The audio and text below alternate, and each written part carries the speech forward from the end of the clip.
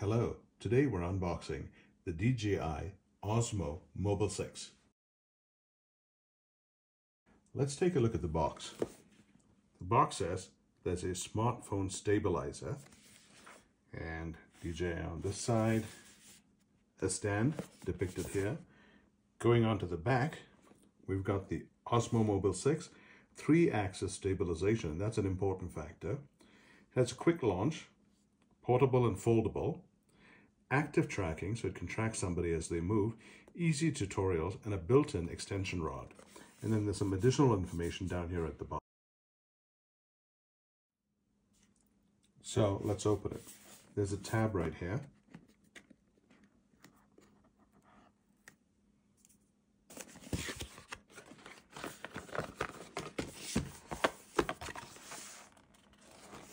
There's some instructions here about getting the app, setting up, and operating. So let's get the device out. There's a pouch, the cable, and nothing else.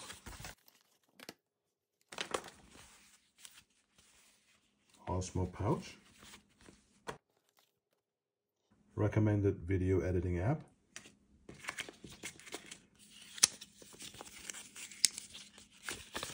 What looks like a, a user manual. A quick start guide, which is something we'll be using. Put that here. And safety guidelines. Put that there. take this clamp out.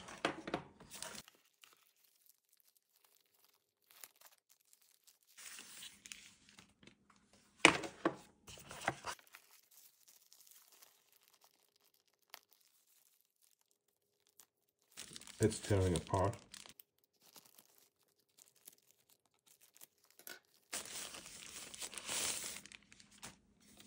And here's the DJI. And some pads that need to be attached. So put the box aside.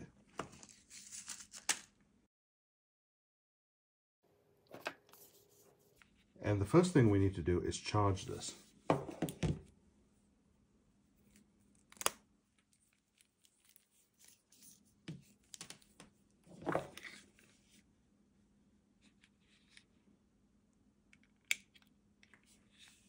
And this goes into a charging port in HDMI and we'll be right back.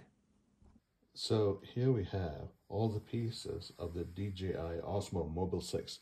Let's take a closer look at each of them. This handle goes into the bottom of the DJI, so we'll leave that alone for a while. This goes around the phone.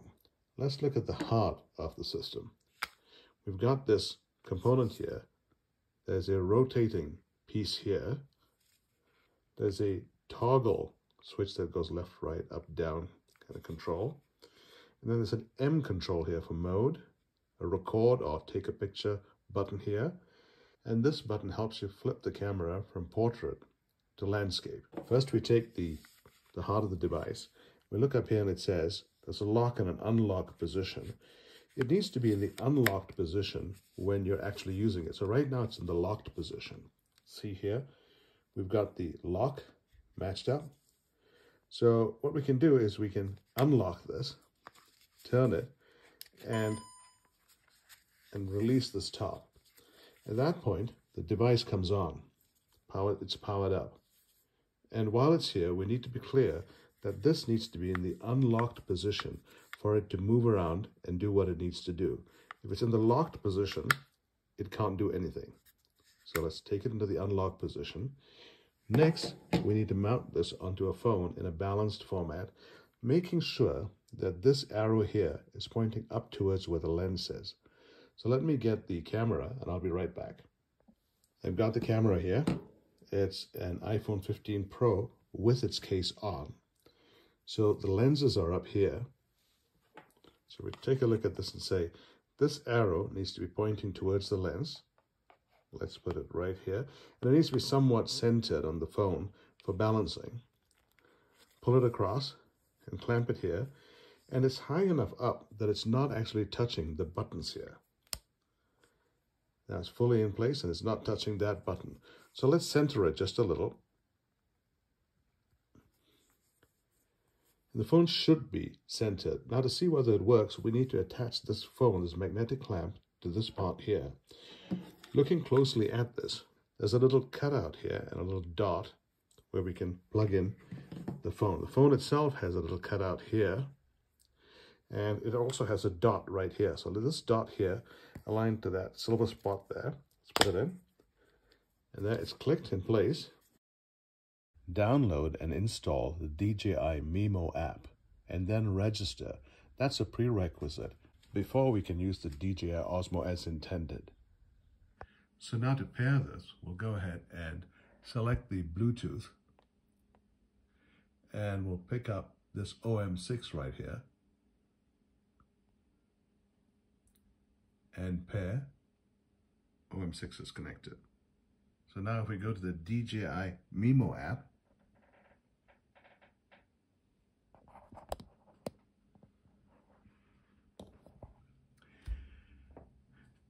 The message here asks about device activation. Allow DJI access to device information to activate the device. So we'll go ahead and authorize that.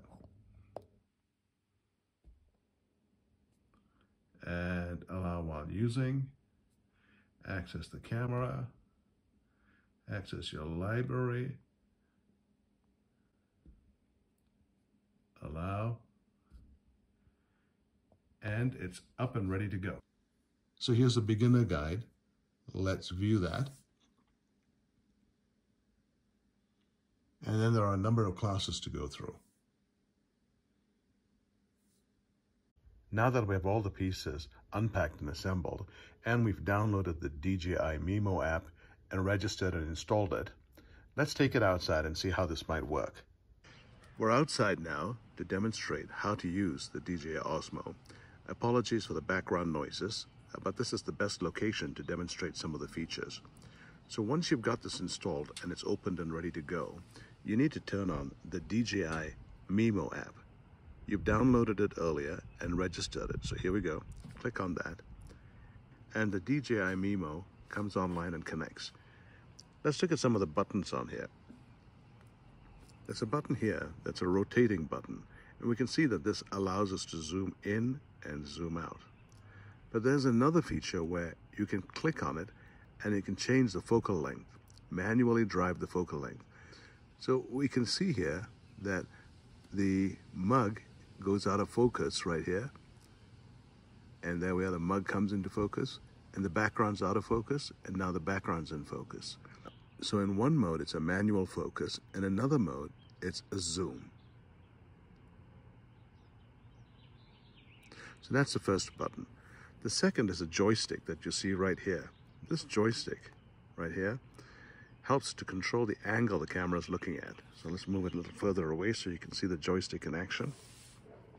We can go down or pointing up and pointing down. We can go left and we can go right. Now, the joystick provides a pretty smooth movement left to right or up and down. And the angle you push the joystick determines the speed. A slight movement of the joystick results in a slow pan. And since you have two-dimensional control, it's very easy to get the camera misaligned. That's the second, the joystick. The next item on here is this button here, that's the flip camera. This flips from the front to the back camera. One click and it switches over from one direction to the other, and the second click returns it to back where it was. So let's go ahead and click that once and then again. So that's that button. The button with the red dot is one that takes a picture or activates a video. So right now we're in a video mode. So if we click it once, the video will start running and we should be able to see the uh, button here change and a counter will click on the top. So let's click that. And we see a recording has begun and up at the top the numbers have started progressing and turn it off if you're looking at a photo, one click takes the photo. Let's go back to video. And that's what that button does. So then we have a mode button up here. The mode button initially is set to show two circles intertwined, one vertical and one horizontal. What that means is that it allows you movement in two dimensions, up and down. Camera's panning up, phone's panning down, and it's turning left, and it's turning right. This is one way to pan, and the DJI does help smooth it out. Uh, however, another way to pan would be to set the DJI down and use the toggle to go left and right and up and down. So that's what the first mode is. If we push the mode button again, we get what looks like a flying saucer. What that means is that the vertical tilt is locked. So if I tip it up, the picture stays level. It doesn't move up. However, if I go left to right, it will allow me to move pretty evenly. So if I'm walking and I want to pan, but I want to keep it level, the second setting with the flying saucer is really helpful. Let's look at the third mode. The third mode allows movement in all directions. This is an FPV type of movement. You can see the phone rotates with me. It's not one that I often use, but it's good to know that you have it. Next click takes us to the rotation mode, and the rotation mode or the circular mode creates some scenic effects. If I push the joystick, the camera rotates, creating a circular view.